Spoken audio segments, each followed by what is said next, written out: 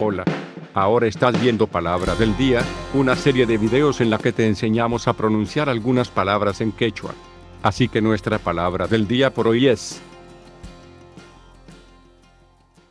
mach'aqwa mach'aqwa mach'aqwa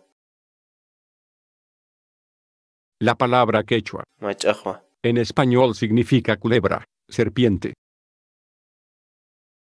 Por ejemplo, manaraq hanch'arwaspa k'uyurukuranmi